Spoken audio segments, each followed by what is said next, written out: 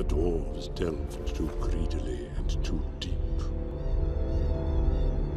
You know what they awoke in the darkness of Khazad-dûm. Shadow.